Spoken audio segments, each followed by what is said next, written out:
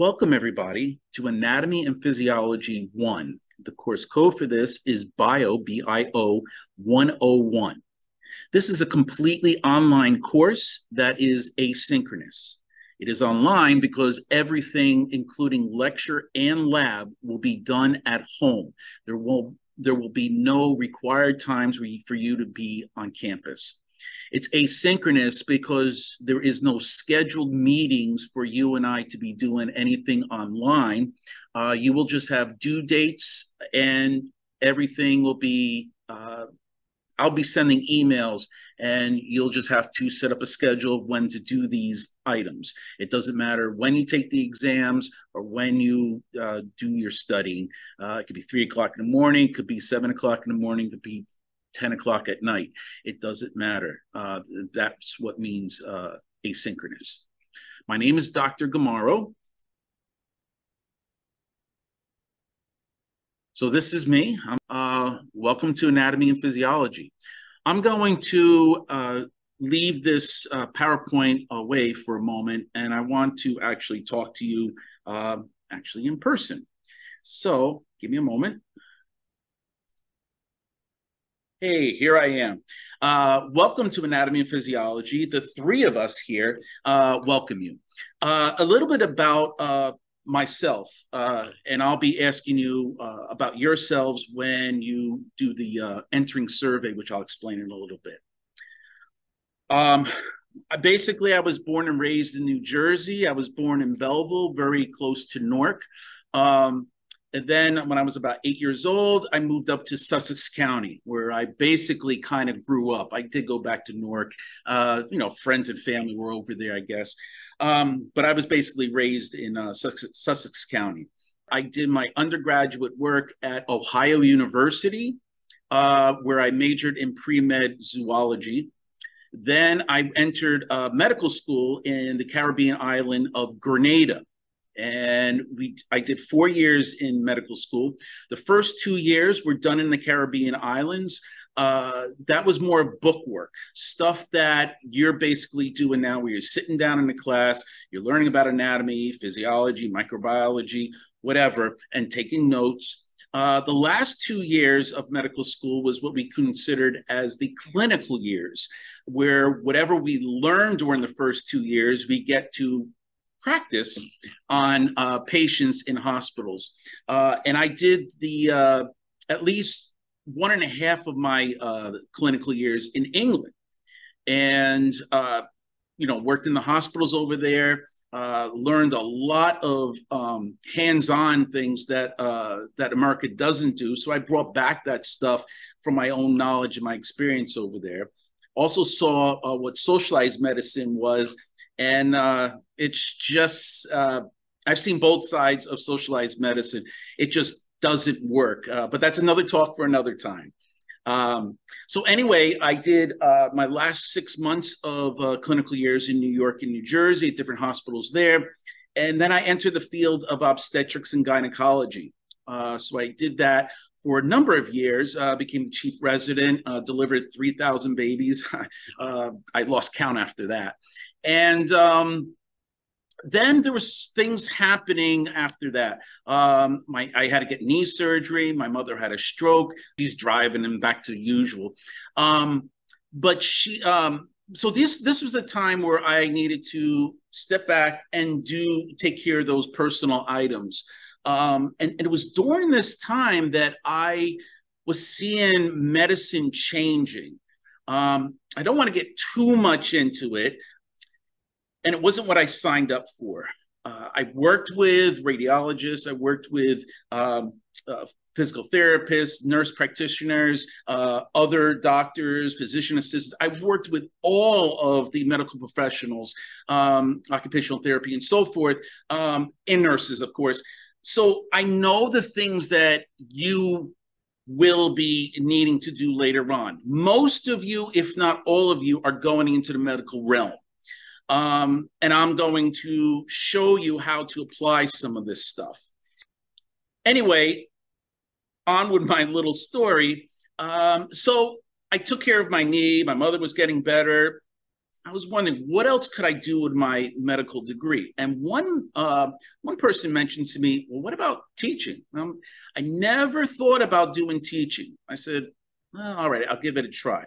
Well, here I am, about 17 years later, still doing this and enjoying it. I mostly teach anatomy and physiology. I do teach biology. Pathophysiology is one of my favorite courses, which is basically diseases um, microbiology. I've also taught medical terminology, but I'm more of the biological sciences. So that's a little bit about um, me and why I'm doing this. But I needed to relocate. Uh, I got married, and it was easier for me to to uh, relocate to Boston, Boston, Massachusetts. I started teaching over there as well, and that's where I am right now, is in Boston but I, I'm trying to give back to the community too. I'm getting to the point where, like I said, I've dealt with so many different medical professionals. I know what you're going to be going through. I know the the objectives that you're going to have to do. I've been keeping up with um, the radio tech and the nursing and other um, uh, institutions and seeing how things are progressing. Um, I've I've noticed, for instance, the nursing they just changed the uh, um, the NCLEX. The NCLEX is the licensure exam that you do right after nursing school. But the NCLEX has changed April of 2023, um, where they're doing a lot more clinical stuff. There's a part there where a patient comes in and you, not a, I mean, on computer wise, a patient comes in, what's the first thing you want to do? Um, what are the signs and symptoms that you're picking up with? Um, it's, uh, and also what's the first line of treatment that you're doing? But I want you to know that things are changing. I mean, they're, they're expecting nurses to do um, a little bit of diagnosing. Uh, uh, you know, you have to pick up signs and symptoms. Are these side effects of a medication, or is this a side effect of a certain um, disease? So it's going that way. So what I'm doing, and you'll notice when I do the teachings uh, with my video lectures, I'm trying to, yes, I got to give you the foundations, the nuts and bolts. But you're going to see quite often that I'm going to throw in a lot of how to apply this material. I'm going to get your brains wired for what these other nursing schools or radiology schools or uh, physician assistants, physical therapies, pre med, whichever, they're getting you into that mode that you got to apply this material. And I'm going to start doing that with you. I will use a lot of diseases in this. Um, I believe that if you you do need to know the normal anatomy, you do need to know the normal physiology, but to emphasize it, I got to give you a disease. What if we remove this part of the anatomy? Then how would that person present? ah, then that's what multiple sclerosis is, or that's what uh, muscular dystrophy is. Now it makes sense. So basically, me giving you diseases, and I'm not going to spend a lot of time on it or um, much detail of it, just enough to show why knowing the normal anatomy and the physiology is significant. Okay. So anyway, that's a little bit about me. I want to go now go back into the into the syllabus. And I wanted to just tell you a couple things really fast. The syllabus is pretty lengthy. It's about 35 pages or so. The first uh, first few pages, the first 10 pages or so is what we refer to as the uh, departmental um, the departmental syllabus. Okay. My part uh, in that first 10, uh, 10 or so pages is telling you all the stuff that every anatomy and physiology um, course in at CCM is going to follow, like the, what the grades are, um, what expect what what you're expecting to do. It tells you a little bit about um, percentages, about lectures and labs. Yeah, so take a look at that. I'm not going to talk about that. It's pretty straightforward. What I'm going to talk to you about is something, and I'm sorry, it's not in uh, color. I didn't make this in color, but you should see a yellow box up here. It's about page 11 or so. And that's where I'm going to start talking. Now, the first two pages is the introduction. Um, and I really don't want to go into that. It's it's really light and fluffy. I think you can read that on your own a little bit about what to expect uh, in a down to earth uh, way of talking about it in anatomy and physiology. Um, and it also talks about taking an online course or a summer course, an accelerated course. Um, so you have to just think about that too. Whether you're taking this course in the summer, if you're taking this course as an accelerated course, whether it's 10 weeks or seven weeks, as opposed to the usual 15 weeks in the fall or spring, there's going to be a lot more pressure on you, right? Really, a, more of a demand for you to uh, stay create that that schedule and stick with it. Okay. Um, the other thing I wanted to show you is the course calendar. Okay. Now I, this I have in color. The course calendar is over here. The first few pages is going to deal with just the calendar itself, the number of months that are there and what's all there. Um, the last few couple pages or so is more of a checklist. The checklist here is a wonderful thing because what I did was the first column is a place where if you want to put a check for yourself, the second one is when the date opens for that assignment, whether it's going to be the um, the lab report or a quiz or an exam or whichever it is. The third column is going to be the due date. Now, I put all this together in a chronological order by due date. I had to come up with something, and I think it was easier to say when it's due, that's the order that I'm putting it in. Okay. Then I have the actual event or the course assignment is over here, whether it's a quiz, exam, discussion board, anything like that, lab report. And a little bit about that. What is going to be included into that? Okay. Just a little note over there. What I recommend, this is probably, I wouldn't say this is the most important thing. I think it's equally as important as your syllabus. You'll find it in the uh, uh, course, uh, I'm sorry, the uh, Blackboard uh, area. I'll show you where that, that'll be located if you need to print it out. Um, but everything is over here. I kind of put everything in green and blue that's going to be lecture, and anything that's going to be pink or brown is going to be uh, lab uh, incorporated. Uh, anything that's yellow, basically, besides the word dues, um, anything yellow is really a like a course information, like when is withdrawal date, if the school is closed, that kind of thing. Okay, so this is called the course calendar. Definitely print this out. Use this as your guide. The syllabus itself is lengthy. We're going to go through it all. It's about 35 pages in total, with the first 10 or so pages that are going to be departmental. I'm not going to start with that. I'm going to start with um, just after the introduction, which is around page 13 or so. Okay. All right. So um, I'm going to switch off over here, go back to the PowerPoint, and we're going to go right through there. Okay. All right. Here we go. All right. So uh, the first thing, as I mentioned to you, is something called an entering survey or questionnaire. Okay. It's it's so that I can better acquaint myself with your background now that I went through everything about mine.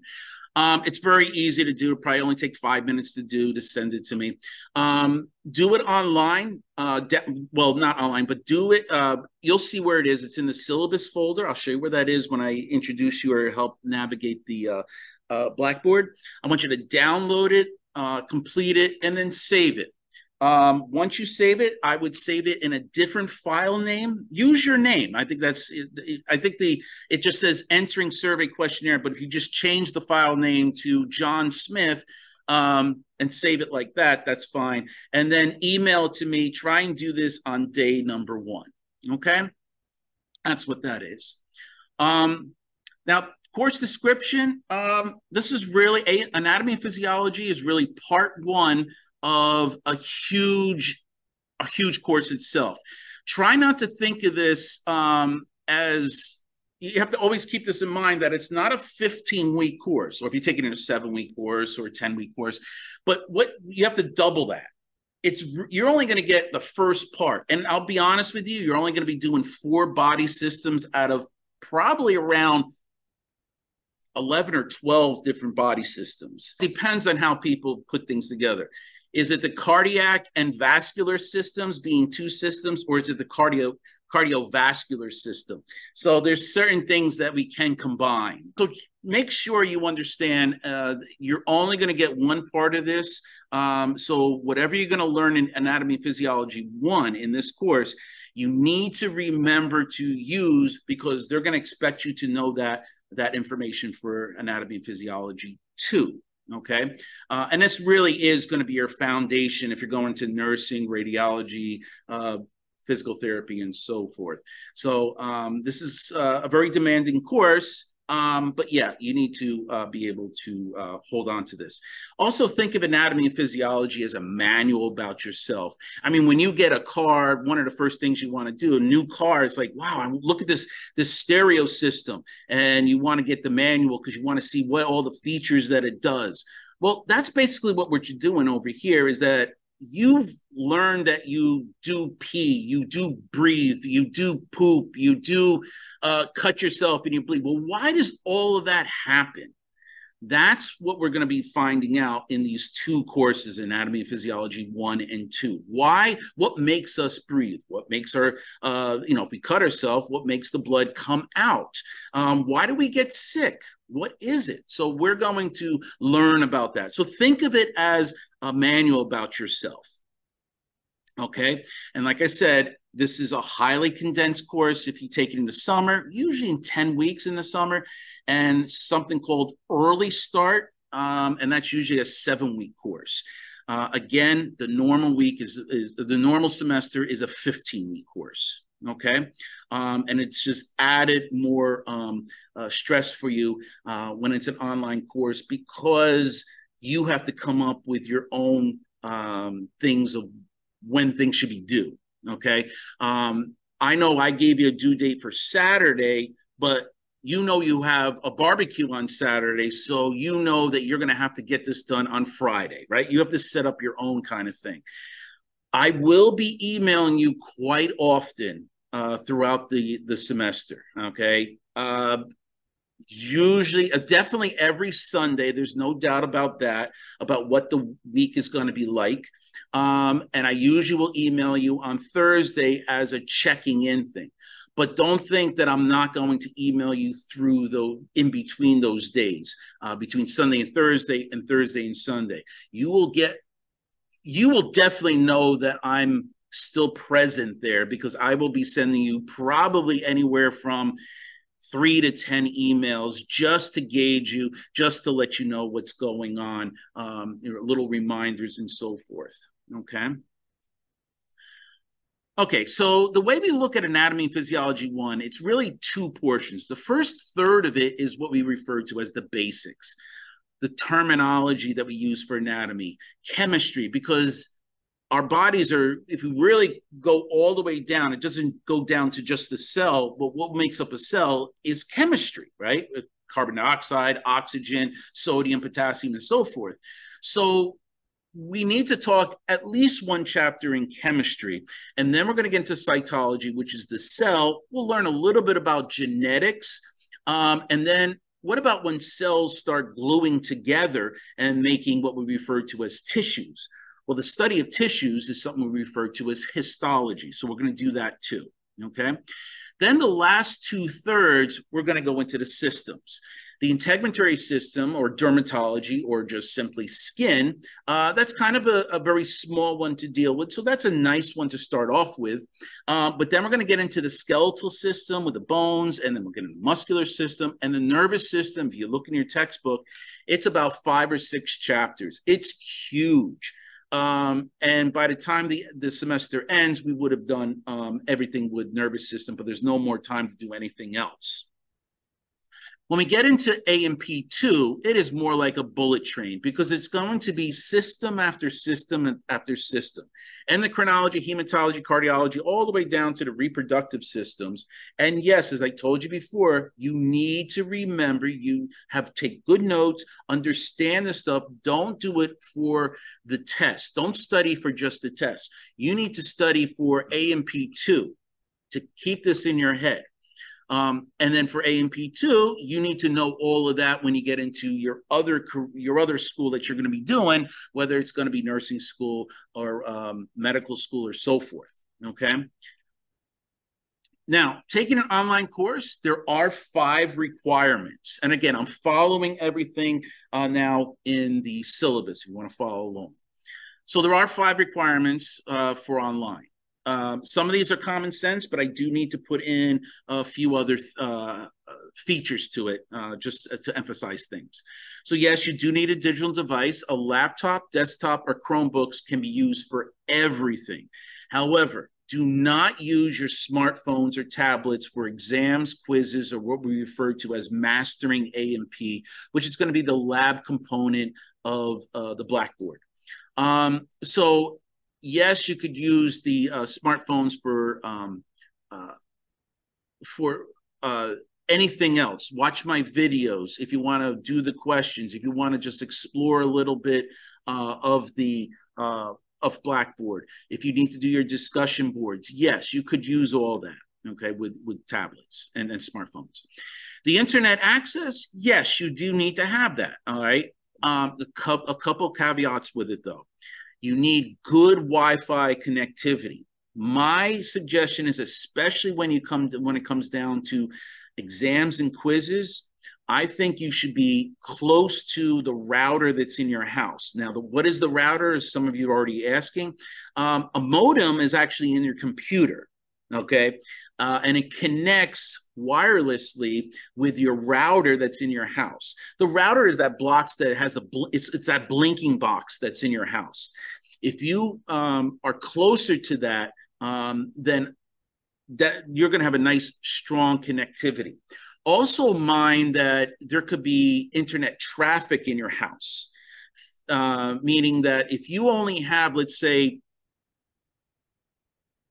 25 megabytes per second and you got to check to see what how much you have because i'm going to talk about that in a second uh, see what's coming into your house but you need to have if you have 25 megabytes per second well what if your sister is doing homework on the computer for an online course from for high school your mother's watching netflix your father is trying to figure out what to do with that certain part of his car um, so he's looking something on youtube and your brother's playing games well, if you have 25 megabytes per second, all of that, especially games and videos, Netflix included, that's probably going to use about 15, 20, close to 25 megabytes per second.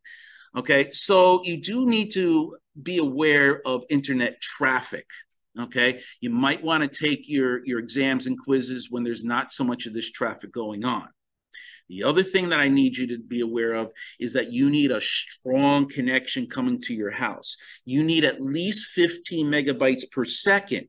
Okay, again, you need to check to see what your um, whether you're using cable, DSL with the phone, or whatever your uh, internet service is. Check on the bill, give them a call, and see how much megabytes per second. Now, when I say 25 megabytes per, per second, that sounds like, well, you have a lot. Yes, but it gets cut down if you have internet traffic. The reason why you need the strong connection, I've had situations last semester where students were taking an exam that was being proctored by a service that we're going to be talking about called smarter um, smarter proctoring they got booted off. It froze because you have to have at least 15 megabytes per second that is devoted to the exam okay? Um, when that happens uh, you get kicked off and you can't get to do the exam again all right? Um, if you show me all that, I might make certain exceptions. But if you don't, if you have this internet, and if it happens often, uh, I'm not going to be too happy with that. With your keep on doing it, my suggestion is to find another place uh, to take this. You can come to campus and find a. Uh, you don't have to, but I'm just saying, a camp. The campus has like probably about 300 megabytes per second over there. You could be any place around there, especially inside. You could take the exams on in, in the library. You could take it in uh, the cafeteria. You go to another place like Panera or Starbucks to take the exams. They're pr- they're pretty high with megabytes per second too. So do plan accordingly. Don't wait to the last minute when something is due, when you have, let's say, you know, seven days or three days to do this exam, because um, it's it's just you know I, I might not be too friendly when it comes to you're waited to the last minute and you know uh, i might not see your email until like the next day. So um, just make sure that you go to a place that has a strong uh, connection with uh, uh your internet okay? You can only use google chrome. Do not use internet explorer internet explorer edge firefox believe it or not. And for apple users safari. Um, we found out that there's certain things that, um, well, taking the exams, it only works with Google Chrome. And the story about that. But there has been also situations where you're sending or you're submitting certain things and you're using Firefox or Safari, we're just not getting them. So just do yourself a favor, just get Google Chrome. Even if you're an Apple user, you could just download download a Google Chrome and just um, bookmark the uh, the Blackboard that I'm going to show you and just put it into Google Chrome. Okay. Uh, the third thing you're going to need is a webcam with a microphone. Okay. When you use our um, proctoring service called Smarter Proctoring, okay, um, they will be needing to hear things. I I need to hear. They need to hear. Is there anyone saying anything to you? you know, if you're reading things off, I have no problems with you reading things off as you're reading the the questions. But I've had situations where you're reading a question, a red blood cell is also known as, and then someone else is saying, it's also an erythrocyte. Oh, erythrocyte? Okay. And then you start writing it down. So we need to hear everything that's going on there. And obviously that would be called cheating, right? Um, but yes, we've had situations like that. So you got to have a webcam on your computer. It doesn't have to be a part of your computer. It could be a separate webcam itself. Okay um, and any virtual appointments in case you want to uh, have an office hour with me or you want to just talk with me through a Zoom session. Yes, we you're going to need the microphone anyway. Okay. Keep the webcam position on the top of your screen for all proctor exams. That's what they expect. They do not want it on either side of your screen. Okay. It will ask you during an exam to pan the uh, your webcam 360 degrees so that I get a full view of your surroundings, that there's nothing, uh, there's no pictures or diagrams or notes that are taped to your wall um, that would aid you for the exam. Okay, so it will ask you um, before taking the exam uh, to do this panning that's 360 degrees. You have to do this 360 degree panning. If you do not, you'll be disqualified for that exam.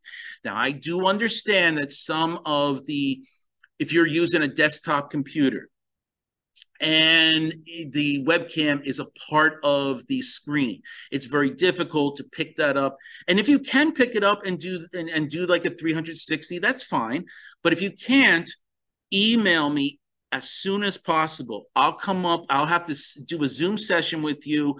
Um, not the time that you have to do the exam. Do this before. We want to have this meeting before so that we can come up with some kind of plan of how I'm going to see their surroundings. I've had situations where uh, a student can use their cell phone, and as long as I could see what's pictured on the cell phone, he was actually panning the area with the computer um, of the computer and the surroundings with the cell phone. Um, I've actually had uh, someone bring out a, uh, a mirror so they were actually showing the mirror in front of the webcam and tilting it to either side so that I could see through the mirror to see what the area is. But don't do these things until you email me because I want to see how it looks so that you know how to present it. So uh, I would imagine it's only for a few students that would do it this way. I think most students have a webcam that they could take off and just do the three, 360 degrees. Um, and this, like I said, it reassures me and your classmates uh, that everybody's doing the same procedure. Okay. All exams will be video recorded. Um, I should always be on the monitor. Um, it upholds that integrity issue. No exam or quiz is open book, and you may not be able to visit other websites during exams. If you try to do that, um, like Google or other things, um, I will be alerted and I will consider that cheating. Okay. The fourth thing, uh, pretty easy on this one, is that you need a photo ID, whether you're I would imagine everyone's got their CCM school ID, but if you don't have that, um, it's in the car and you forgot it to bring it in, you can use any government issued photo ID, like your um, uh, your driver's license is, is a good example of that. Okay. Um, the full name must match what I have on your course roster of what CCM has. Okay. So if you just got married or you got divorced and you change your name, it has to be the same one. Okay. Also, make sure that it, it did not expire if you're using a, a driver's license. All right. It's going, the smarter proctoring is going to prompt you to show this photo. Make sure it snaps a picture. Don't move it all around and get blurry because um, I have to then ask you to show the ID again at another later time. Okay. The fifth thing um, is the lab kit. Okay. Now, this is ordered directly from Carolina Bi Biological Supplies. I emailed everyone a few weeks ago before day one uh, would occur um, so that they can order, or I'm sorry, yeah, they can order and get the lab kit uh, before classes began. Um, the lab kit um, sh you should get it by the end of this week. If not the end um, sometime during next week is when you should have it. We're not really going to use anything until maybe two-thirds into the the course. There really is only a few things in there. There's going to be a dissecting kit goggles, gloves, lab apron, and then there's going to be two specimens in there um, that are in bags: uh, a sheep brain and a cow eye. Okay. Obviously, you can open up the box to make sure that everything is there, but do not, I repeat, do not open the brain or the cow's eye. Just keep them in their bags. I'll let you know when we um, need to use those. Okay. Um, best place to, and if you don't have those things or you get the box and you and you're missing certain things, you need to contact Carolina and let them know. They're usually pretty good at um, uh, sending you whatever was missing or something that was broken or something like that. Okay. The best place to store this is at a room temperature area. It does not have to be refrigerated, although you can keep it in a refrigerator. I don't think your family members would appreciate that. Um, they don't really smell um, if they're kept in the bags, but nobody wants to have that touching uh, their jello that's in there too. Okay. Um, but the other, the good place to put it is don't keep it outside because during the winter months or during the summer months, uh, the different temperatures is not going to be too good. Let alone there's little critters that may want to eat those uh, specimens. Um, the best place I think is is probably in your garage, um, where the temperature is going to be just a little bit um, under room temperature, um, or it'll be room temperature. So I think that uh, maybe that would be a best place for you to put it. Okay. Um, after you dissect these items, don't dispose of anything until I'll instruct you, and, and you'll see with emails. Okay. So those are the five things that you need to have. Okay. Then we have the objectives. The objectives are not so much are going to be in my section of the syllabus, but will be in the first 10 or so pages of the departmental. Refer to the syllabus, read those on your own. They're pretty straightforward. Now, the course information. Um, there is prerequisites. Um, basically, right now, we just have certain math um, uh, courses that you need to have or its equivalents. The class states, again, look on that page that's uh, at the top that says course information, and you will see the dates, uh, the beginning and ending dates of this.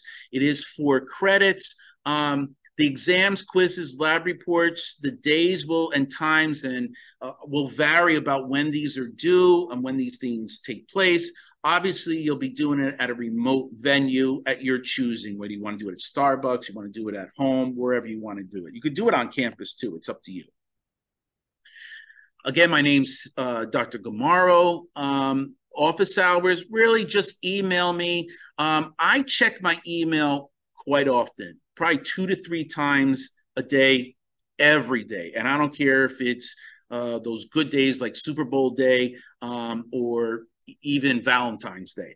my wife isn't too happy with that. But I, I don't like to have 10 emails there. So I like to check it often.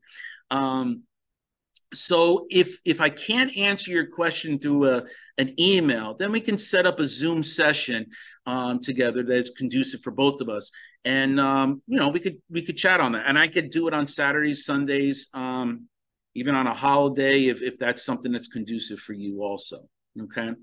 Um, the contact information. Let me just go down to the uh, bottom part over here. Uh, the Blackboard area something called Blackboard, the abbreviation Blackboard is capital B, lowercase b, Blackboard Mail. This is the only place, and I'm going to show you, this is the only place that you and I are going to communicate. Do not use this sgammaro at ccm.edu. I know that's what you were doing. If you were emailing me prior to day one of the course, yes, I was doing the same thing too, but that was because Blackboard was not open yet. But now that Blackboard's over, uh, uh, open, then I want you to do it there. I don't want anybody to email me ever during the into this CCM email because your mail will get lost with my other email as much as my email will probably get lost with all of your other email in there. You have other classes with uh, that are sending emails that way. You're getting stuff from the college. I'm getting stuff from the college. I'm getting stuff from advertisements, from the Pearson book, and all this stuff. I think what's most important to me is your emails. So when you go to the our Blackboard course, I'm going to show you where the Blackboard mail is. There will only be my emails to you and your emails to me, and that is it. There is no other fluff uh, that is going to go in there. So it is clean. I could just do it through there. Okay. So definitely um, email me over here. I'm going to be emphasizing that quite often during this uh, lecture. Um, if for some reason you're not getting in touch with me, you got it. You need to get a fast um, um, response you can always call up the faculty offices. Again, they're only open if the school is open. Uh, they have my personal phone number and they can get in touch with me that way. Okay. Uh, but avoid this CCM email. I will avoid it with you. I want you and I to only use the Blackboard mail, and I'll show you where that is.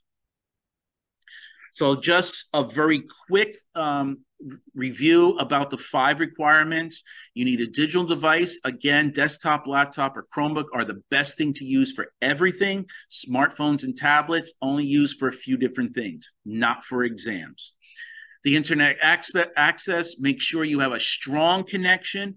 Do call up your internet service, whether it's cable or DSL with the phone, whatever you're using, make sure you have at least 15 megabytes per second but also be mindful of the internet traffic because you have 15 megabytes per second coming in. But if your mother's watching uh, Netflix and your brother is playing video games, that might now be down to five megabytes per second, which means you cannot take the lecture exams or any of the exams on there. Okay. Um, only use Google Chrome. All those other browsers are not compatible with a lot on Blackboard. Make sure you have a webcam with a working microphone, your photo ID, and the lab kit. Okay. Now, really fast, I'm going to go more into detail about this. I've already mentioned a little bit about smarter proctoring, but just some notes. This is a 24 7 online proctoring service, meaning you could take the exam at three o'clock in the morning. You could take it on Christmas morning if you wanted. Holidays and weekends and time of the day does not matter. Okay. You can only use Google Chrome um, you're going to need to download and install something called an extension into your browser. Again, Google Chrome is the only way to use this. You'll be able to do this when you first take something that is going to use smarter proctoring, whether the practice quiz, which I'll talk about later, or the syllabus quiz. Before you take one of these, it will um, prompt you to make an account and to download this extension. Once you do that, you're good at least for that computer. If you have to switch over to another computer for a different uh, for for another exam in the future, you might have to do this process over again because it's not installed in that other computer. Let's say your your one computer is in the shop, it doesn't work. Well, then you got to borrow your mother's computer. That that kind of situation. Okay, um, the instructions for all this will be in the Blackboard course, which I'll show you. Uh, we also use Mastering A&P. All right. Um, this is where you're going to do most of your online lab experiments. Um, if you have any questions about it, you could go to the masteringaandp.com area. But the only place to register this um, is on Blackboard. I've integrated um, our Blackboard course with Mastering A&P. Okay, do this on day number one, and I'll show you how to go about doing that when I show you the, um, the Blackboard. If you've had this before, this is like your second time taking this course. Um, if you've had something called an access code, if you had something that was going to be, let's say, 18 months, it may still be in function. It hasn't expired yet. However, if it's going to expire during this semester, or if it already has expired prior to today, you're going to have to repurchase another access code. You can either do a subscription of 18 weeks or 18 months. My suggestion is to do the 18 months uh, if you plan on taking A&P2. Okay. Um, it's going to be a little bit cheaper to do the 18 months overall than the 18 week one. Okay. All right, so the textbooks that's in conjunction with this course, uh, we have the Anatomy and Physiology uh, written by Marieb. Uh, this is the 11th edition from 2019. Now, I'm going to tell you right away, you do not have to get the latest edition. Okay. If you want to save a few bucks and you want to get the ninth edition, you can do that. Okay. Or if you had this book um, in um, in another college, that's fine. Okay.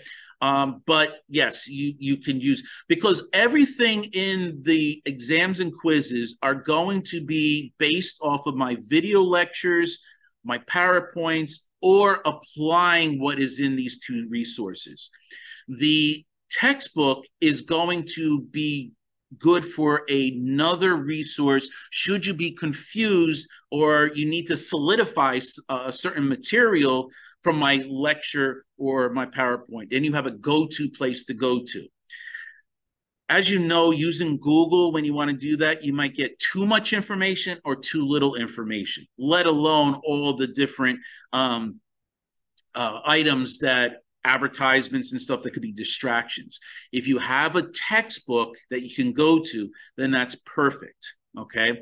Um, just a word of advice. Uh, if you when you order the mastering A&P and you link it using your access code, there is an option where you could get the e-text for this. So I also encourage you to do that if, if you're a person that likes to use the computer.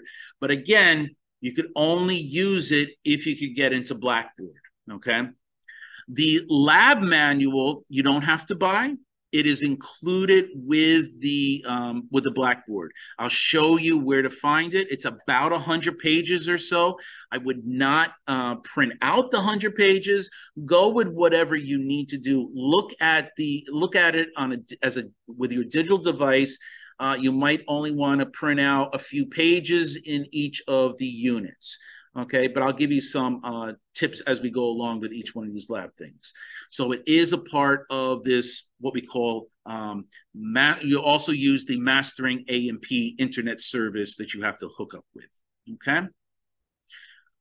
All right, so with that said, why don't we go on to uh, and have me show you what uh, Blackboard is all about. We'll get back to this in a second, but I want to actually show you Blackboard and help navigate and explore it with you, okay?